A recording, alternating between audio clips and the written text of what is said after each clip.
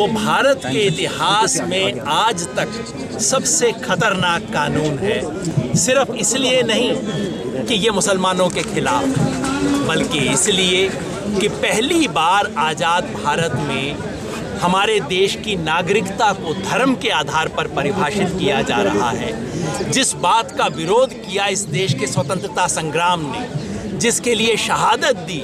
राम प्रसाद बिस्मिल ने अशफाकुल्ला खान ने, जिसके लिए गांधी, टैगोर, अंबेडकर, पटेल और मौलाना आज़ाद सबने कहा, उस सिद्धांत को ख़त्म किया जा रहा है।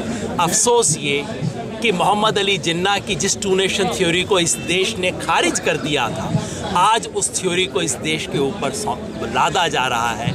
आज हिंदुस्तान पाकिस्तान की नकल करने की कोशिश कर रहा है। इसलिए हर नागरिक का ये कर्तव्य बनता है कि वो इस बिल का विरोध करे। इस बिल के पक्ष में जो दलील दी जा रही हैं, वो इतनी लचर हैं, इतनी झूठी हैं। कहा जा रहा है कि बाहर के देशों से जो अल्पसंख्यक आ रहे हैं, उनके साथ बुरा व्यवहार हो रहा है, उनको बचाने का बिल है। अगर वो है तो मैं स्वागत करता हूँ। स्वामी विवेकानंद ने कहा था कि हिंदुस्तान और हिंदू धर्म वो है जिसने दुनिया के हर प्रताड़ित व्यक्ति को शरण दी है। अगर दुनिया के हर प्रताड़ित व्यक्ति को शरण देनी है, बहुत अच्छी बात है।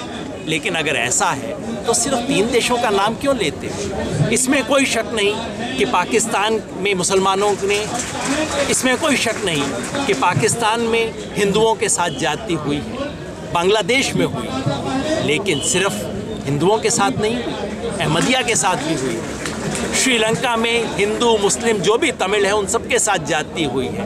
नेपाल में तराई वालों के साथ जाती हो रही है। अगर शरण देनी है तो धर्म के आधार पर क्यों चुन रहे हो? इसलिए इतने तमाम झूठे तर्कों को विरोध करते हुए इस देश की आत्मा को बचाने के लिए हर भारतीय का फ़र्ज़ बनता है कि वो सिटीजनशिप अमेंडमेंट बिल का विरोध करें।